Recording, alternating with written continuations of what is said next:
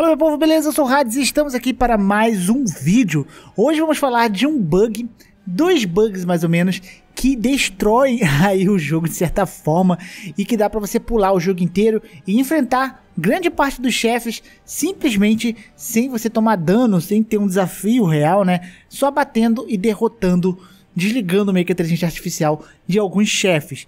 Vale mencionar que antes da gente fazer esse bug aqui, eu preciso deixar claro que não faça isso na sua primeira gameplay, tá? Porque vai estragar, a não ser que você crie um personagem separado e você faça isso pra, sei lá, pegar uma arma lá na frente do jogo e você quer testar alguma build, faça isso no personagem separado, mas eu recomendo você fazer isso se você já tiver zerado o jogo, senão vai estragar toda a sua experiência com Demon Souls. Não vale a pena zerar o jogo assim, mas você pode derrotar alguns chefes, você pode pular várias áreas com este método insano e muito louco. Eu não sei quando eles vão consertar isso aqui, tá?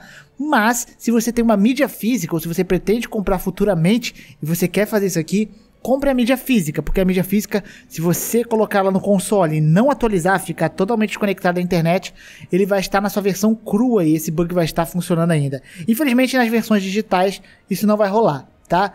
Então, sem mais delongas, deixa o like, se inscreve no canal e se você quiser ganhar um Cyberpunk 2077 aí, a sua chance agora, na data do lançamento para qualquer plataforma que você escolher, para poder participar de graça e acessa o primeiro link aí na descrição e vem comigo. Bem, na real esse bug ele é bem simples de fazer, tá? Eu vou explicar aqui como funciona e aí depois é só você replicar. Bem, os requisitos para fazer isso aqui é você ter pelo menos uma Hearthstone tudo desbloqueado, você ter feito tudo, né? Terminado 100%, 100% assim, ter desbloqueado as quatro áreas de uma Hearthstone, tá? Isso é necessário se você quiser fazer isso nas outras Hearthstones, então você precisa ter isso aqui desbloqueado. Feito isso, o que você vai fazer? Você vai escolher para qual ponto do mapa você quer pular. Então, se você quiser pular numa, na terceira Arkstone para o mapa 3, você vai para o mapa 3 da Arkstone que você zerou.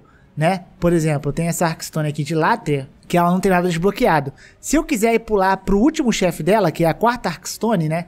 Cada um são quatro, com exceção da, da primeira que são cinco. Eu tenho que vir aqui no 4, tá? Então você vai e viaja para a quarta Arkstone aí de uma Arkstone que você já desbloqueou Feito isso, você vai precisar fazer alguns passos. Basta você entrar na Hearthstone e aqui você mudar para onde você quer teleportar, tá? Você pode, inclusive, voltar para o Nexus e fazer direto do Nexus isso também. Você não precisa ir por esse atalho aqui. Mas no caso, nós queremos ir para a Torre de Latria. O que a gente vai ter que fazer aqui? Você vai ter que apertar o botão do PlayStation e aqui embaixo no seletor, selecionar o jogo, apertar Start, deixar aqui. Enquanto o jogo estiver carregando, na hora que ele abrir alguma coisazinha, né, a fumaça começar a sair do carregamento, você fecha o jogo, tá? Então, repetindo, você vai ter que estar na Arkstone que você quer, né? no caso eu quero pular para a quarta Arkstone dessa aqui, então eu tenho que ir para uma Arkstone desbloqueada e ir para a quarta.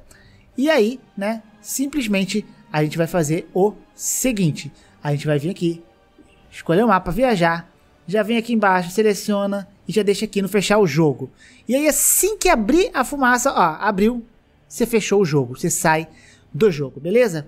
Feito isso, você simplesmente vai retornar pro Demon Souls normalmente. Você vai dar continuar e volta pro jogo. Recomendo você fazer isso offline, inclusive, só por precaução mesmo, mas isso aqui não dá problema nenhum.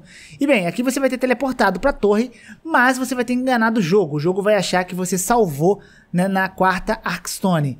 Então tudo que você vai ter que fazer agora é morrer. E quando você morrer e renascer, você simplesmente vai estar na última Arkstone, que é a quarta que a gente escolheu, né?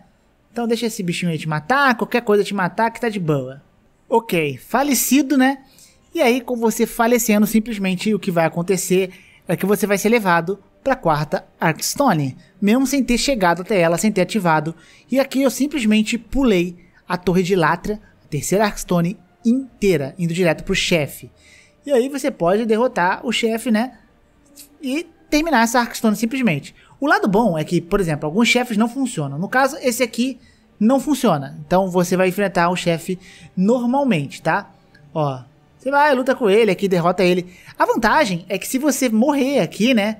Você simplesmente não precisa fazer o caminho todo. Você vai renascer aqui porque você está salvo nesta Darkstone. O que eu recomendo, inclusive, é você deixar o elo nexial aqui nos atalhos, né? Porque se por acaso você simplesmente não conseguir derrotar o chefe, se estiver passando muito mal para ele, às vezes você não tem tempo de ir até o menu, tá? E aí você se ferra, você não consegue voltar, porque você vai ficar preso aqui para sempre. Então, é basicamente isso, ó. Voltamos novamente para esse chefe e pode enfrentar ele de novo, de novo, de novo, de novo, quantas vezes você quiser, beleza? E aí, usando o, o anel, você volta pro Nexus, se você caso não esteja conseguindo enfrentar o chefe em questão, né? Por algum motivo. Mas esse aqui é um chefe que eu mostrei que funciona, né? Existem outros chefes que não funcionam. Como, por exemplo, o primeiro chefe da última Stone, Elite Monger. Ele simplesmente fica parado ali é, na forma de lesma e você pode bater nele livremente. Isso porque para poder derrotar ele, você meio que precisa é, ativar a cutscene. Então, para você ativar ele, você precisa voltar lá pra porta. Aí ele vai ser ativado. Mas se você não voltar pra porta, dá pra você derrotar ele só batendo e ele não vai fazer nada contra você. Isso funciona com a última chefe também, a Maiden Astra, por exemplo. E tem vários outros chefes que simplesmente não carregam e você consegue derrotar eles sem fazer nada, cara. Então o Litmonger, por exemplo, funciona tranquilamente. O último chefe da primeira Arcstone também ele fica parado, então você consegue derrotar ele de boaça, simplesmente sem fazer nada. A própria Meliastra é muito tranquilo, tá? De derrotar alguns chefes, então.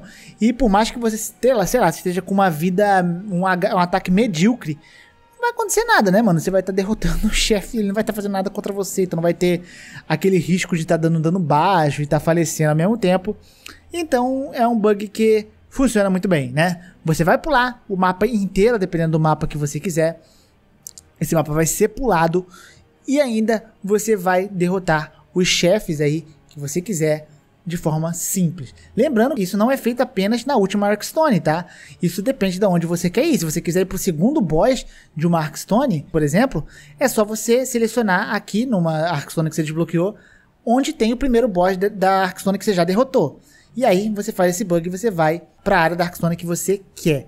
Então basicamente é isso. Você vai escolher para onde você quer ir usando uma Arkstone já desbloqueada e na Arkstone bloqueada você vai para a área em questão desbloquear ela. É bem legal, né? Mas repetindo aí, né? Não usem de maneira errada isso aqui, porque vai atrapalhar a sua gameplay. Mas é muito bom para fazer speedrun, é muito bom para você testar builds, é muito bom para você, sei lá, treinar em chefes, porque como o jogo ele vai simplesmente registrar a sua última posição na Arkstone daquele chefe, então sempre que você morrer você vai voltar para a arena daquele chefe, é onde sempre tem uma Arkstone, todo chefe tem uma Arkstone na arena. Então isso daí pode ser útil inclusive para você treinar em alguns chefes, ou se você quiser simplesmente estar lá no NG mais 3, mais 4, você está simplesmente atrás da platina, você pode usar isso para você não ficar penando no chefe fazendo o mesmo caminho toda hora. Então tem boas utilidades para isso que não seja você usar na sua primeira gameplay advertindo de novo, não vale a pena. E meus queridos, esse aqui é o vídeo, espero que tenham gostado. Se gostaram, não esqueça de deixar seu like, se inscrever no canal. Eu fico por aqui, grande beijo, grande abraço, um beijo no popô, é nóis. Até o próximo vídeo e fui.